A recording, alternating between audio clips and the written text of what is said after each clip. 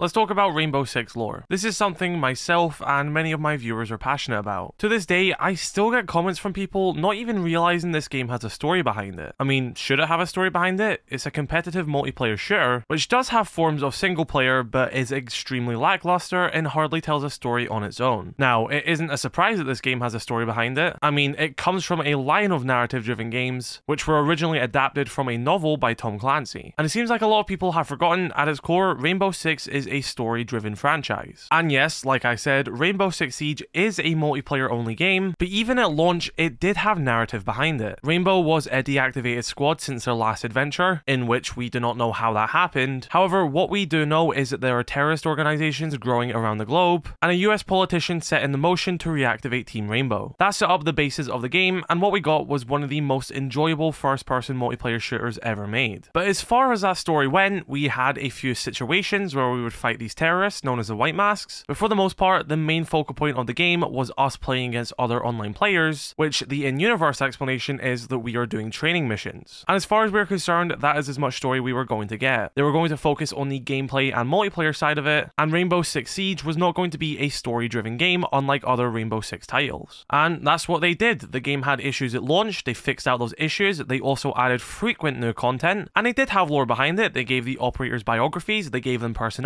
personalities, and they gave them relationships. They're friends with each other, some of them are lovers. And although at this time we were already kind of feeling an attachment to these characters, and quickly a lot of them were becoming gaming icons, there still wasn't really a massive story behind it. The White Mask still existed, so Rainbow were becoming even bigger to help counteract them, and we just assumed that they were fighting them in the background, and we didn't get to see that. And Ubisoft kept it this way until it seems like they got in quite a good stride. Content was coming out frequently, a lot of the big issues were fixed, and the game was as big as ever. And then Ubisoft threw a curveball at us. Director of Team Rainbow, Aurelia Arnaud, gets a promotion, and as well as this, the White Masks have been defeated. This was a massive thing because, firstly, we got our first ever intense CGI animation with the hammer and scalpel, showing us Thatcher and Dokkaebi having a bit of turmoil with each other, as well as introducing us the new director of Rainbow, Harry. I remember watching this for the first time being absolutely blown away as someone who was just some console player who wasn't even that good at the game, seeing this lifelike animation in a game game which had no story behind it, as far as I was aware, was really intriguing and it just left me wanting more. And after this, we would start to enter a period in the lore which many people seen as not very good. Ubisoft either got a new team here or the team decided to go in a very new direction, but this is when they would start to lean into the esports side of Rainbow Six Siege and try and incorporate that into the story. Basically having our in-universe operators have their own yearly tournament to coincide along the real-life tournament of Six Invitational. As well as this, a private military organization would start to get involved with Team Rainbow, and we start to get operators who weren't from traditional CTUs, some of them even being unaffiliated. And this is when people would start to get a bit vocal, saying that they thought the White Masks were interesting, they would have liked to have seen more about that. A bunch of combined counterterrorism units fighting this global threat. Instead, they get defeated in the background, and we start to get this private military company coming in, and these yearly training competitions where the public can watch. It doesn't really seem that good holding public events to view a world class counterterrorism unit, who a lot of the time are meant to be working from the shadows. Now, I didn't absolutely despise this stage. I thought it was stupid having the stadium. I thought having this yearly open to the public event for Rainbow didn't really make much sense in the story, and I was quite heavily against that. However, we did get pretty cool animations for it, and it was them trying to lean into the esports side of the game. As well as this, the introduction of Nighthaven did seem like a way for them just to sort of start adding these more futuristic gadgets,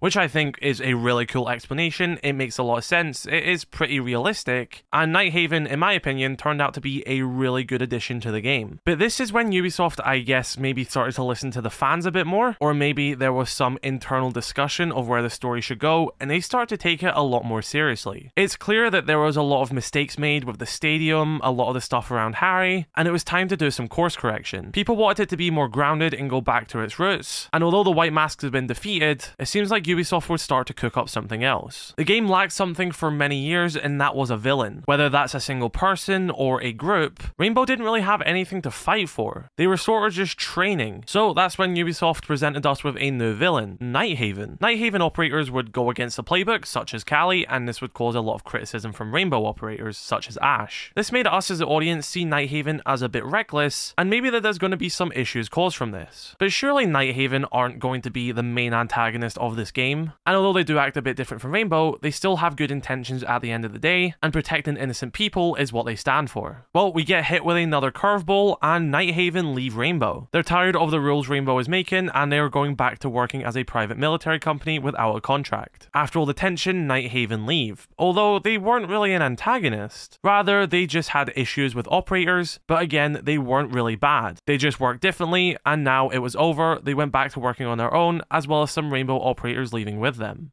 So the moment it started to seem like we were finally getting an antagonist in this story, it turns out they weren't really that bad. Yeah, they are a bit shady, but there isn't going to be any physical conflict and won't really be a force to be reckoned with. That is, however, at the beginning of year 7, we learn that Nighthaven assassinated someone? Okay, this is getting a bit interesting. We know that Nighthaven were a bit shady and didn't really play by the rulebooks, but we never seen them as bad people. And now some CEO of a data center in Japan has just been assassinated by Nighthaven gear. That must mean Nighthaven are bad, so we do have an antagonist. And Rainbow get involved since Azami, the bodyguard of the CEO, worked with Hibana, a Rainbow operative, and with Rainbow not long ago working with Nighthaven, as well as some Rainbow operatives now working there, they get a bit suspicious and worried that Nighthaven are now assassinating people, because that's a big thing, especially with ex-colleagues working there. So Rainbow get hot on our tail, and us as the audience get over a year of being suspicious of Nighthaven. Now the reason I think this works so well is because a lot of our favourite operators, which we play as in the game, you've got Ace, Kali, Aruni, Wamai, Osa, Smoke, IQ, Pulse, Finka, Grim, all these operators are part of Nighthaven, and us as the audience is getting the implication that these operators are part of an assassination ring. You know, this is when myself and a lot of people start to get a bit more interested in the lore. But that is when, at the beginning of year 8, we get the absolute bombshell that there is a new character called Deimos, who was pulling the strings the whole time, whose intention is to wipe out Rainbow, and was tricking them into thinking that Nighthaven were the bad guys, so he could strike them from the shadows. And one of the first strikes which Deimos does is he kills the director of Rainbow, Harry. And one of the biggest issues Deimos has with Harry is the fact that he made Rainbow a joke in his opinion. He's hosting these yearly tournaments to the public. They're not a feared squad anymore, rather a show for people. He's made Rainbow look weak. And what Deimos is saying is the same stuff that R6 community was saying. Rainbow didn't feel like this worldwide counterterrorism unit anymore. Rather, they were playing tournaments and having an internal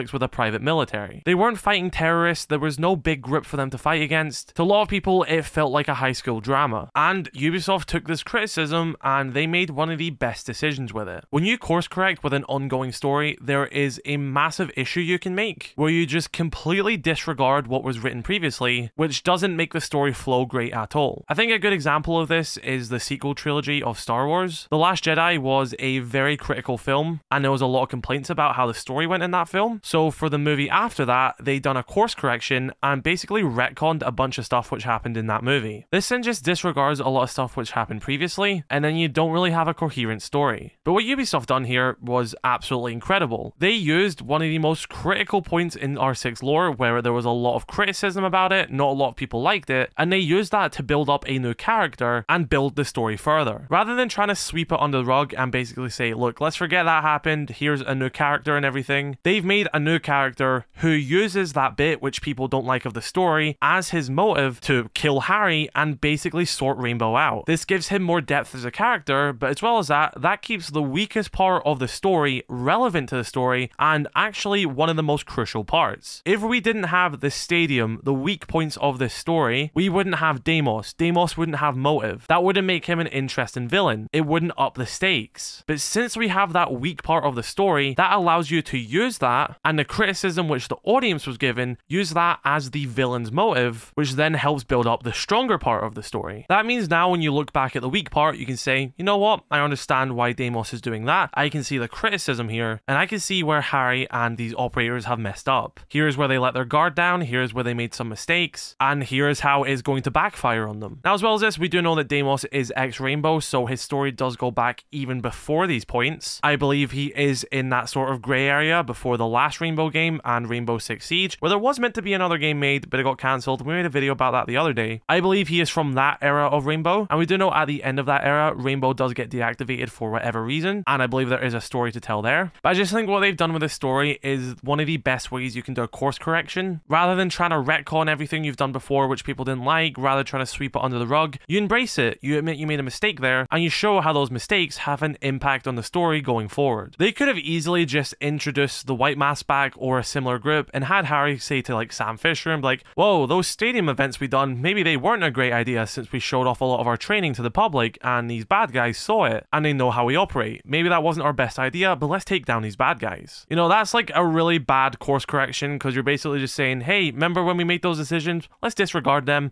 and, you know, oops, we done that. No, we have a brand new villain now who literally kills Harry for making decisions such as that. And now we have continuing side effects and consequences because of that. And it's helped shape the story going forward. It's gave the story much more depth. We still have conflict with Nighthaven. We know they're not bad, but a lot of the operators still aren't on good terms. Do Rainbow need Nighthaven's help? We don't know yet. We have new recruits coming into the game who are directly linked to Deimos, which probably would never have existed if it wasn't for the stadium. So the lowest point in the story has set up the highest point. And for that, you've got to give the team credit because they could have botched that even more. And I just find that a lot more interesting now because there's finally a reason for Rainbow to fight. For so long, we never really had an antagonist. The White Mask were defeated. We were just told and assumed that Rainbow went on missions in the background, but didn't really fight high level threats. But now we have a villain, there's mystery behind them because we don't know what ex operative he is. He isn't part of our main roster of Siege, he's before that time. We don't know if he's an existing Rainbow Six character, we don't know if he's a new one, we don't know if they're going to make a separate game spinning him off and, you know, setting him up, and we don't know what he's truly capable of. Have we only seen a fraction of what he can do? All I do know is the year 9 cinematic we're going to get is going to be absolutely insane. So be sure to let me know your thoughts in the comment section below about how Deimos basically saved Rainbow Six lore and how they could have really, you know, just made it worse, but they've done an absolutely amazing job of course correcting and embodying a lot of the criticism of the community into a brand new villain makes so much sense. So be sure to drop a like on this video, dislike it if you do not, subscribe if you're new, and I shall catch you later. I love you all.